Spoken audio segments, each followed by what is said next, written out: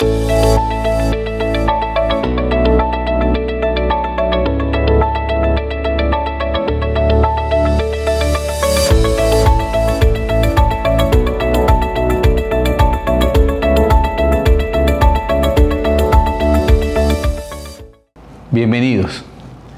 Se aproxima el día en que estaremos de nuevo juntos. Estamos trabajando en todos los protocolos de bioseguridad y todos los requisitos que las diferentes eh, administraciones municipales están solicitando. Nuestra sede en la que realizaremos eh, las reuniones físicas, las eh, convocatorias físicas, es la sede que queda en Ruitoque, que corresponde al municipio de Florida Blanca.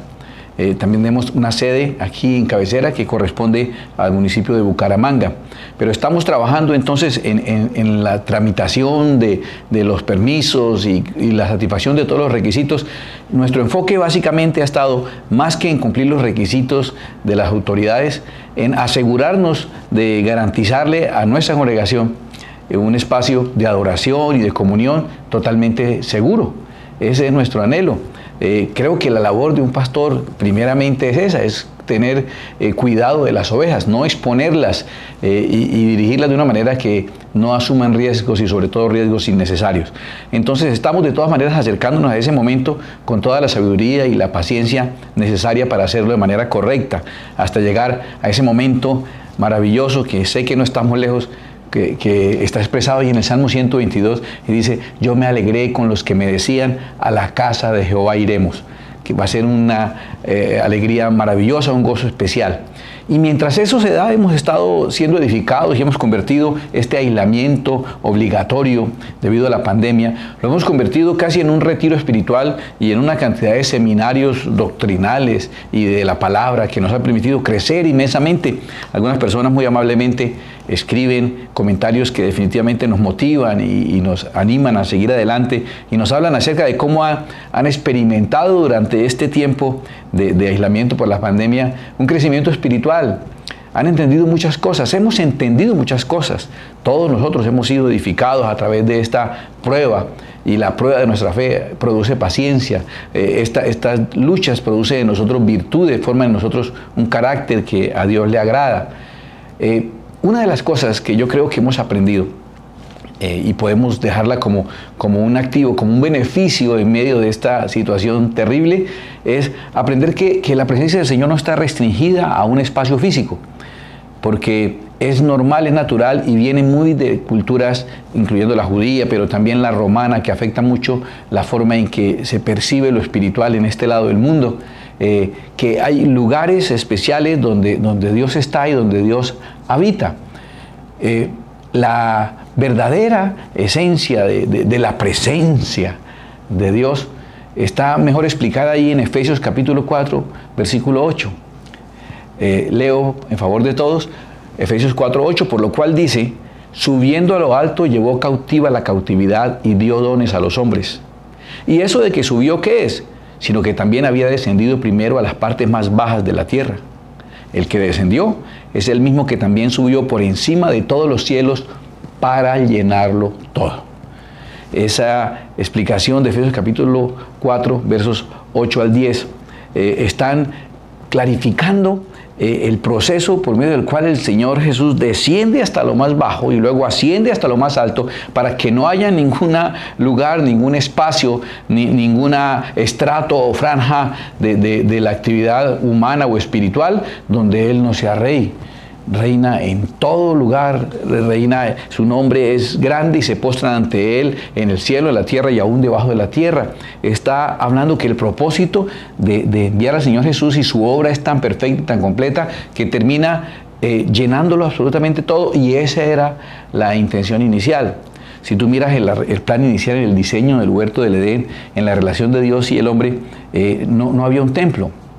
Eh, yo eh, amo el hecho que haya un templo, que haya un auditorio y amo que nos congreguemos y el Señor nos invita a no dejar de congregarnos y que cuando tengamos la oportunidad seamos fieles a ese privilegio de estar en la casa del Señor. Y como decía el salmista, uno prefiere estar un día en los atrios de la casa del Señor, en los corredores de la casa de Dios, eh, está uno más bendecido y más feliz que mil días en cualquier otro lugar. Amamos la casa del Señor. Eh, Porque allí hacemos, escucha esto, porque allí nos hacemos presentes nosotros como iglesia para hacerle ofrenda de adoración y alabanza, y nosotros mismos somos esa ofrenda, al Dios que está presente también en ese lugar, pero en todos los demás lugares. Recuerda desde el Antiguo Testamento, y, lo veo de esta manera, eh, para que lo entendamos mejor, el Dios que, no puede ser contenido por los cielos de los cielos, dice la palabra del Señor, ese Dios precioso, entonces decide eh, venir y construir y, crear esta, tierra y crear en esta tierra al humano y en, el, en la tierra plantar el huerto y se manifiesta al hombre de una manera especial.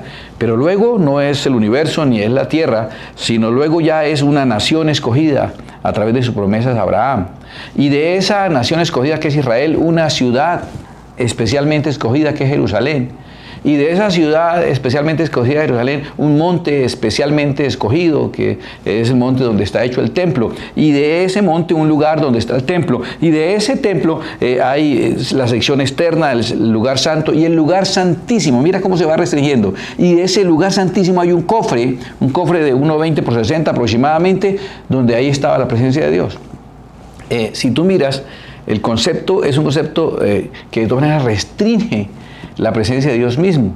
Eh, el hecho de que después se hizo eh, ese templo y primero era un tabernáculo y se pone al Señor en, casi que en esa cajita, pues maravilloso y respetuoso también.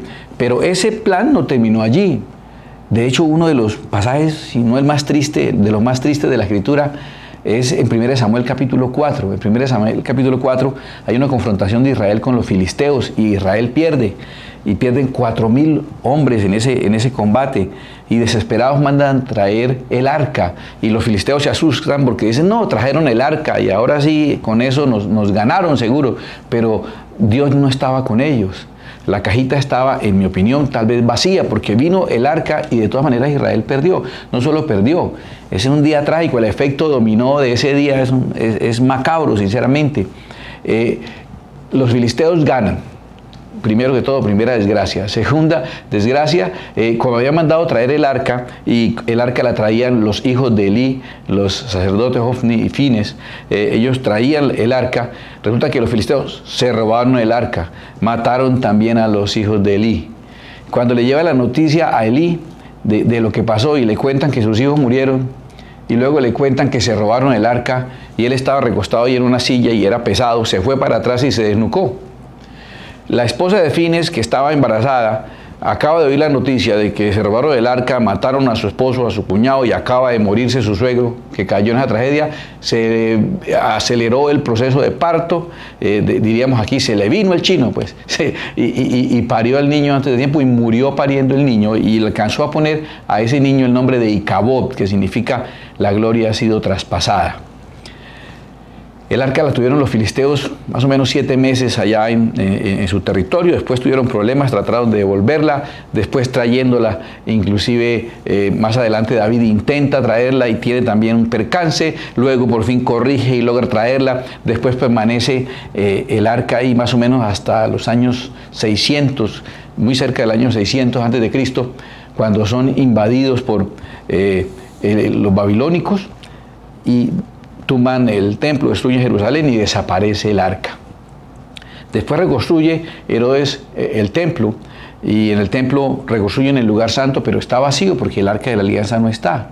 Pues dice la escritura, los tres evangelios sinópticos dicen claramente que eh, en la muerte del Señor Jesús, el velo del templo se rompió de arriba para abajo, de arriba para abajo. O sea, no fue alguien que lo rasgó, sino que Dios mismo decidió romperlo de arriba hacia abajo. Y entonces parece que como que el proceso que fue primero de contracción, ahora es un proceso de expansión que se complementa cuando el velo se rompió. Esto nos lleva a entender que definitivamente el plan se cumple en Cristo. ¿Y cuál es el plan? Llenarlo todo. Llenarlo todo puede sonar muy reverente y puede sonar eh, muy bien intencionado el concepto de una presencia localizada. Pero yo quiero simplemente traerte a pensar que ese concepto bien intencionado de una presencia localizada de Dios puede también generar el concepto de una ausencia generalizada. Si Dios está en un lugar, entonces o está más en un lugar que en otro, entonces está diciéndose que está menos en un lugar que en otro. Y si algo hemos aprendido, y me alegro de que haya sido así, es que nosotros somos el templo del Espíritu Santo. Lee 1 Corintios capítulo 3 y lee 1 Corintios capítulo 6 y queda muy claro que en nosotros mora la presencia del Espíritu Santo. Entonces, eh, la presencia ya no está restringida a un lugar. Somos templos vivos donde quiera que vayamos. Y todo lo relacionado con el templo era sagrado. Y todo donde el templo estuviese era un lugar, un monte sagrado. Pues si nosotros somos templo, todo lo que tiene que ver con nosotros es algo sagrado y es algo santo para Dios. Todo esto para decir, algo bueno pudo haber quedado de esta experiencia y eso tan bueno que quedó esta experiencia es que el plan del Señor se cumple y nos recuerda que el Señor que eh, murió, que bajó a lo más profundo de la tierra y subió a lo más alto, tenía y cumplió ese propósito de llenarlo todo. Él quiere que entendamos que su presencia está con nosotros en todas partes y debemos dejar de hacer esa diferenciación tan acostumbrada, tan común, tan frecuente que hacemos entre que hay unas actividades que son eh, sagradas y otras actividades que son seculares o incluso paganas. No, no, no, no, eso no es una manera correcta de verla. Cada cosa que hace una persona, que es un templo vivo, lleno de la presencia del Espíritu Santo, cada cosa es sagrada. Es sagrado tu momento de recreación, es sagrado tu momento de intimidad con tu pareja en orden, en la bendición de Dios. Es sagrado el momento en que tomas los alimentos. Es sagrado el momento en que tú trabajas. Es sagrado el momento en que descansas. ¿Por qué es sagrado todo momento y todo tiempo? Porque el propósito de Dios se ha cumplido a través de Cristo de llenarlo todo. Espero que esto te haga reflexionar y te haga agradecer que, bueno, algo positivo hemos recibido no está el Señor restringido en un lugar, porque la presencia localizada implicaría ausencia generalizada. Oremos. Padre que estás en el cielo y que estás aquí con nosotros y que estás en todas partes, porque moras en nuestro corazón. Señor, permítenos vivir la experiencia real del cristianismo no restringido a un espacio físico, Hemos tenido que aprender, Señor Dios mío, que nuestras casas también son dignos templos y dignos lugares donde podemos elevar altar de adoración. Sé que nos permitirá reunirnos, pero no porque consideremos que ese es el único lugar donde tú estás. Nos reuniremos porque tú has mandado que lo hagamos y porque nada puede reemplazar ese momento en que en comunión adoramos tu nombre como iglesia. Pero entendemos, Dios mío, que todas mis actividades son sagradas, que tu presencia va conmigo en mi auto, en mi escritorio, en mi oficina de trabajo, mientras camino, mientras duermo, mientras descanso, tú estás conmigo. Y eso me lleva a ser cuidadoso en cuanto a la santidad. Porque si tú estás localizado en un lugar, debemos cuidar que ese lugar sea protegido en santidad. Pero ahora que entiendo que tú estás en mí, entonces todo mi entorno exige santidad, porque tu presencia la demanda y la merece. Gracias por este concepto y por lo que hemos aprendido. Sea todo, Señor Dios mío, para nuestra edificación, pero sobre todo para tu honra y tu gloria en el nombre santo de Jesucristo, mi Señor. Amén y amén. Que el Señor los bendiga.